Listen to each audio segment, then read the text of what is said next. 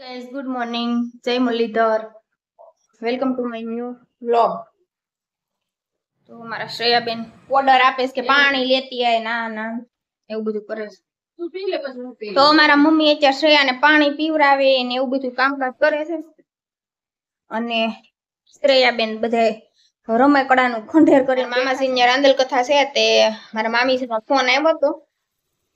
અમારા મમ્મીને ઇન્વિટેશન દેવા કે તમે વેલા હેર આવી જાઓ. પણ અમાર મમ્મી મેં કીધું જાઓ. જવાનું ને.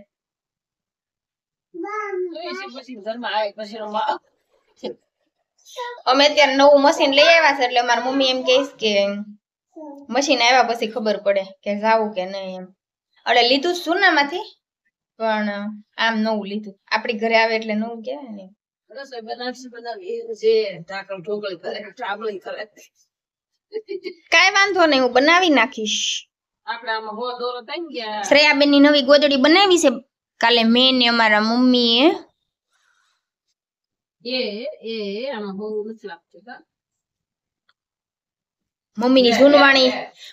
જૂનવાણી રસગુલ્લા સાડીમાંથી. કા મમ્મી? કેટલા છે ને મારે આવડા દેતા હતા. હા.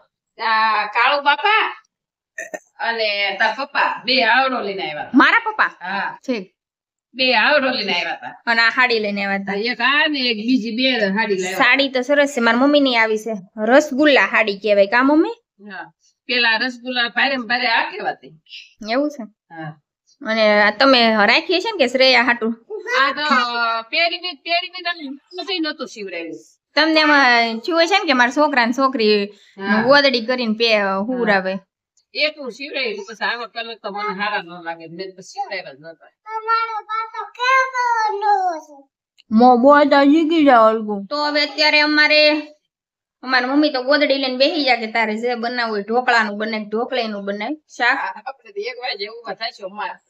તો મારે હવે રસોઈ બનાવવાની એકલાને છે. તો હાલો હવે હું બનાવવા જાઉં છું. ઢોકળીનું શાક બનાવવું છે અને રોટલા છે ને ખાવા છે રોટલા અને રોટલી ખાવી છે તો રોટલી. મને તો રોટલી જ ભાવે એટલે હું રોટલી બનાવી મારી હાટું. અને અમારા અમને રોટલી ભાવે ઢોકળી શાક. ના તમને બધાને રોટલાનું બહુ ને? ના રોટલાનું રસાવાળું શાક નહીં ને ઢોકળી શાકમાં રસો જ થાય.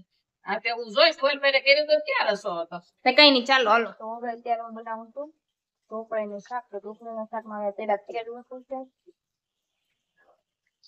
એમાં થોડું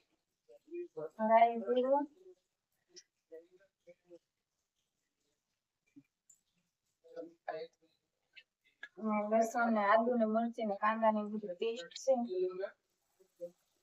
એ નાખવાનું છે.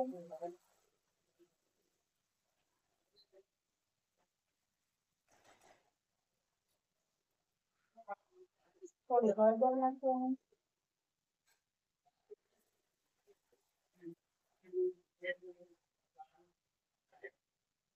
અને પાણી નાખવાનું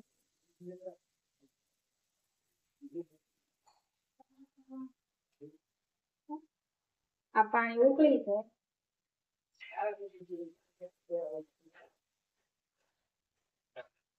એટલે ચણાનો લોટ નાખી દેવાનો. રસોઈ બનાવતી હતી ત્યાં તો મારા માસા અંકલ આવ્યા અને શ્રેયાના માસા અંકલ આવ્યા એટલે થોડુંક રસોઈમાં થઈ ગયું છે મોડું.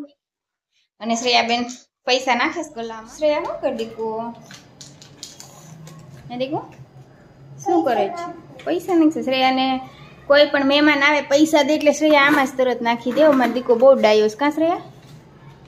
એમનો દીકા તૂટી જાય નોટ. એક મહેમાન આવ્યા હતા તેને પૈસા દીધા તો એને નોટની હાલત કેવી કરી નાખી? મહેમાન આવ્યા ને પૈસા દીધા. હજી અમે બાર હતા ત્યાં શ્રેયાબેને નોટના કટકા કરી નાખ્યા.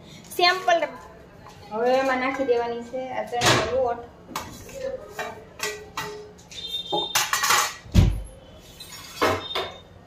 લોટ નાખી. આ રીતના બાફી નાખવાનું ઢોકળીને. એમાં થોડુંક મીઠું નાખી દેવાનું. પાણી ઉપર હોય એમાં.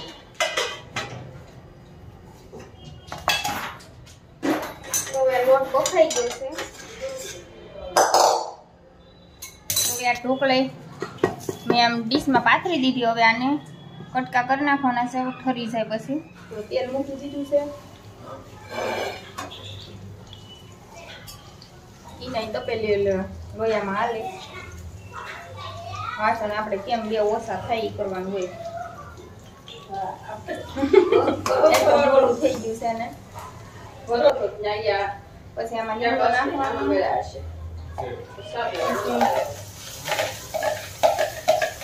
તમે ગઈ છો પછી જોવા કાંદાની પેસ્ટ કાંદા નાખી દીધા હવે એને સાતળવાના છે થોડીક વાર પછી ઢોકળીમાં મીઠું નાખી હળદર નાખવાની આજ તો મહેમાનમાં હિંગ બિંગ બધી ભૂલાઈ ગઈ છે એટલે હવે ઉપરથી ન ખાશે નહીં પણ હિંગ નાખી દેવાની પછી આમાં મેં છાશ નાખી છે છાશ નાખી દેવાની થોડું કોરું મરચું નાખવાનું ઢોકળીના કટકા કરી નાખવાના. કરી નાખ્યા છે. અને હવે આમાં નાખી દેવાનું અને થોડીક ખાંડ અને કોથમરી નાખી દેવાની છે. કેમ કે છાશ છે એટલે લીંબુ તો નાખવાની જરૂર હશે.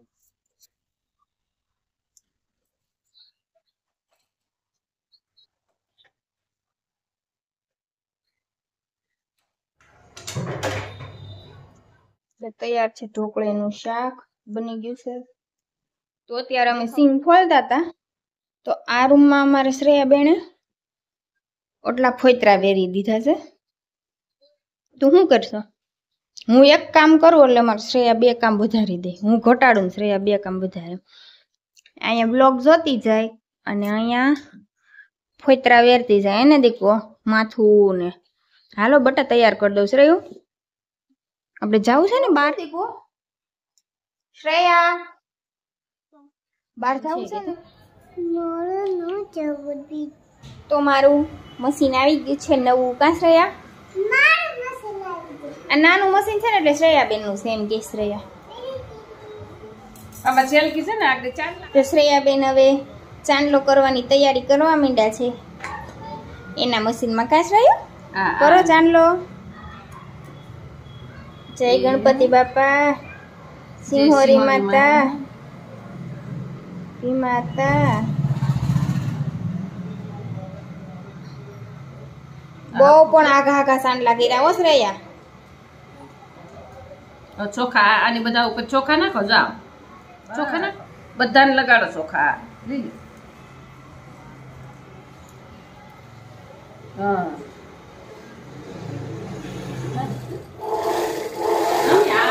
અત્યારે હું સાંજના વાગ્યા છે સવા આઠ અને હું બનાવું છું ઓળો અને રોટલા. તો અહીંયા બનાવી નાખ્યું છે ઓળો, દહીં નાખીને. અને અહીંયા બનાવ્યા છે રોટલા.